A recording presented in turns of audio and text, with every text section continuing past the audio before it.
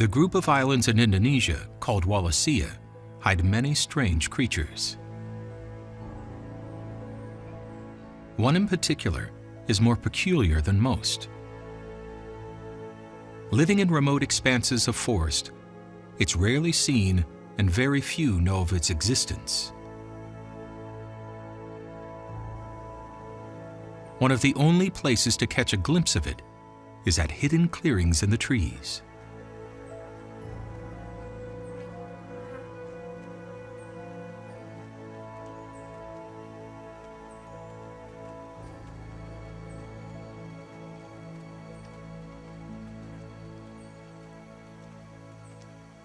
The male Babirusa has to be one of the world's strangest looking animals.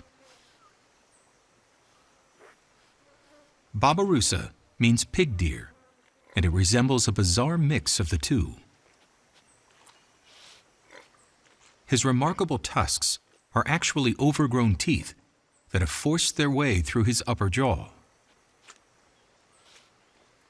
They're too brittle to use for fighting, but that doesn't stop males protecting their turf.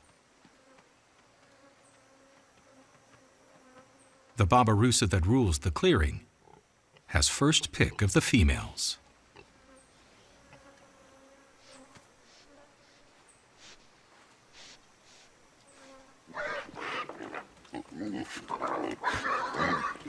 But the battles aren't as impressive as their weapons may suggest.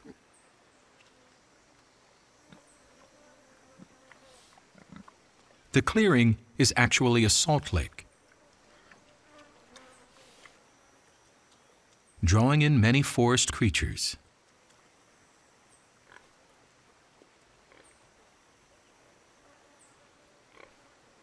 Across Sulawesi, mineral deposits can be found near hot springs and volcanic vents. The macaques mingle with the pigs, mostly tolerating each other.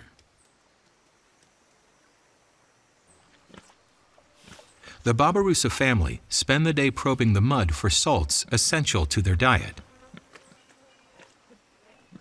They chew rocks, eat soil, and drink water from the spring.